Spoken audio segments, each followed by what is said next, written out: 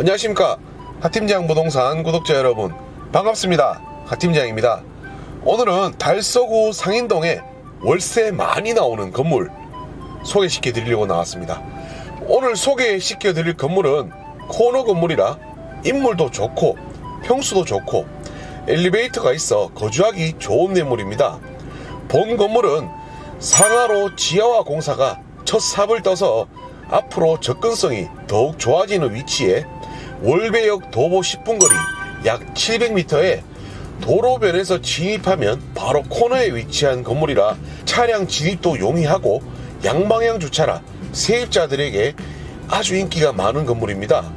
그리고 직접 거주하실 분들은 본 건물에서 도보 5분 거리에 장보고 생활하기 편한 대동시장이 위치해 있고 월세도 많고 다가구로서 많은 장점을 갖춘 매물이라고 설명을 드릴 수 있습니다. 현장으로 이동해 보겠습니다. 자, 오늘 건물 앞에 나왔습니다. 지금 여기가 차량이 있는 곳이 상하로입니다. 상하로. 이게 대구시에서 약 3,400억 원을 들여서 지금 차량이 지상에 다니고 있는데 이거를 전부 다 지하로 지하화 한다고 보시면 되겠습니다. 이 건너편 대곡지구에 세대수가 어마어마합니다. 출퇴근 시간이 되면 차량이 엄청 많아요. 자, 그리고 이 상하로 앞쪽에 전부 다 상권이 다 형성이 되어 있어요. 대부분 음식점들, 식당들이 많은데요. 여기는 점심 시간대쯤이나 아니면 주말 좀 모임하기 그런 상권이 밀집이 되어 있고요. 그리고 오늘 건물은 역도 충분히 이용을 할 수가 있고 주변에 시장도 끼고 있어서 직접 거주하시기도 참 좋습니다. 그리고 도로변에서 바로 진입하면 코너에 있는 건물이라서 차량이 다니고 가니, 아, 차량 가지고 다니시는 분들 그런 분들도 오늘 건물 많이 선호를 해요. 해요. 도로 접근성도 좋고 그리고 주차도 오늘 건물 완벽합니다. 제가 건물 뒤편에서 이렇게 지금 들어오고 있는데 사실 본 건물 진입할 때는 건물 쪽 앞쪽 편으로 건물 많이 이용을 아, 진입을 많이 하십니다. 우선 건물 제가 내용을 설명을 드리고 건물 앞쪽 편 도로도 같이 한번 보여드리겠습니다. 우선 건물 앞쪽으로 이동해 보겠습니다. 자, 오늘 소개시켜 드릴 건물 바로 우측에 이 건물입니다. 야, 건물 딱 봐도 대형 건물이죠. 평수 101평입니다. 101평. 주변의 건물과 비교해보면 뭐 쉽게 말하면 잽도 안 되죠. 이 동네에서 제일 대장 건물이라고 말씀을 드릴 수가 있고요. 여기 코너변 6m고요. 이쪽 코너변 8m입니다. 그래 8m, 6m 코너 접한 건물이고 1층에 또 상가도 하나 들어가 있습니다. 상가 요거 나중에 나가면 뭐 분할해서 두 칸으로 쓰셔도 되고 지금은 뷰티샵이 한 칸 이렇게 입점이 되어 있고요. 상가 앞쪽으로도 주차가 지금 전봇대 저기 제네시스부터 시작해서 한 대, 두 대, 코너변까지 세대 그리고 포트 있는 자리까지 네대 건물 외곽으로만 기본적으로 네대 주차할 수가 있습니다. 그리고 건물 외관도 보면 전부 통유리에 그리고 1층 여기 주먹돌이라고 하는데 요 돌 참 비싼 돌입니다. 지을 때 그래도 좀 주변 건물보다 확실히 신경을 좀 더 썼다고 말씀을 드릴 수가 있고요. 건물 내부 진입하면 주차장 1층 주차장인데요. 아, 정식 주차 라인이 우측에 한 대, 두 대, 그리고 건물 안쪽으로 4대, 4대에서 총 10대 주차 공간이 마련되어 있습니다. 그리고 건물 주변으로, 건물 내로 주차가 총 14대 정도는 충분히 주차를 할 수 있다고 보시면 되겠고요. 주차도 편리한 양방 주차입니다. 오늘 또 제가 관리하는 건물에 아침 뭐 새벽에 또 전화 왔더라고요.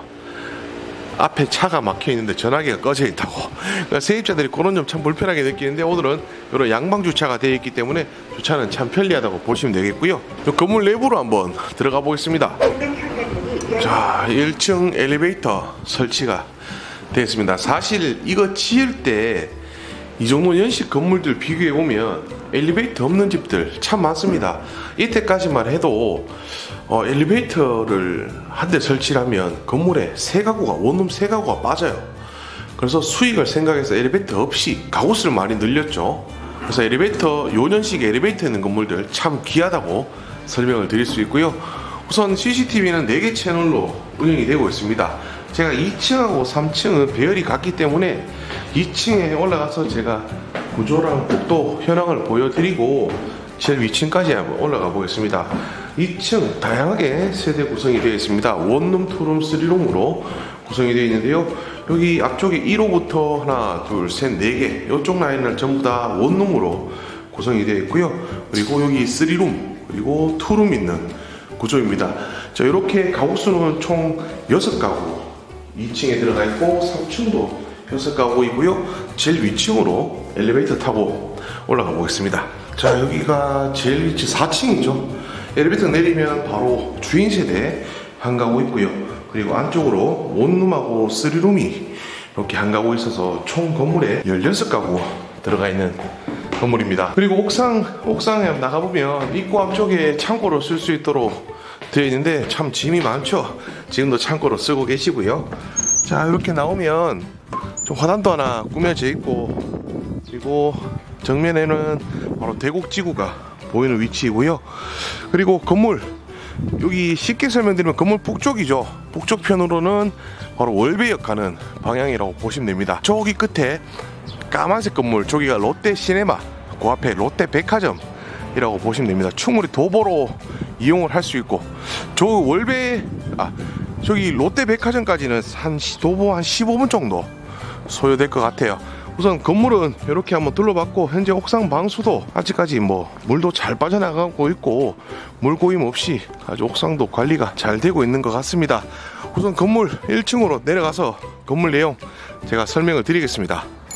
상가 하나, 원룸 9개, 투룸 2개, 쓰리룸 3개, 주인 세대 총 16가구에 대지 334제곱미터, 건물 658제곱미터, 대지 구평수 환산시 101평, 건물 199평입니다. 건축년도 2016년 2월에 준공이 났고요. 건물 내 엘리베이터 설치가 되어 있습니다. 현재 건물 매매가 17억 5천에 대출은 3억, 보증금 5억 3천 950만 원, 총 인수가 9억 1,050만 원입니다. 현재 건물에 나오는 월 수익은 517만 원, 이자 제외하고 410만 원 남는 건물입니다. 오늘 건물 주인 세대 거주를 하시면 11억 1천, 11억 1,050에 인수가 가능한데요.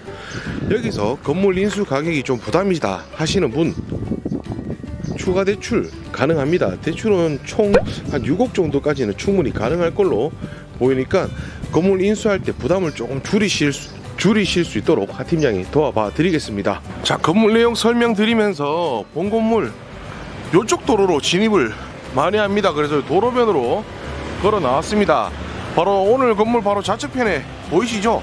여기 차량 진입하는 여기 20m 도로변 도로변 바로 한 블럭 뒤편에 위치한 코너 건물이라고 보시면 되겠고요. 지금 이쪽 방향으로 내려가시면 요 길 따라 쭉 내려가시면 바로 월배역입니다. 도보 10분 충분히 월배역 이용을 할 수가 있습니다. 그리고 저 앞쪽에 신호등 저기가 대동사거리, 대동시장 내거리라고 보시면 되겠고요. 그 앞쪽으로 또 저기 진천역으로 쭉 이어지는 라인까지 전부 상업시설이 밀집이 된 위치라고 보시면 되겠습니다. 주변에 상권도 형성이 잘 되어 있고 오늘 건물 인물도 좋고 대지 평수도 좋고 그리고 월세 월수익도 어마어마하지 않습니까? 월세까지 잘 나오는 오늘 이 건물 어떠십니까? 굉장히 매력 있는 건물이라고 보여집니다. 오늘 영상은 여기서 마무리 하도록 하겠습니다. 항상 구독자분들 필요한 매물, 구독자분들 찾는 매물 하팀장 열심히 발품 팔고 있습니다. 구독, 좋아요 부탁드리겠습니다. 감사합니다.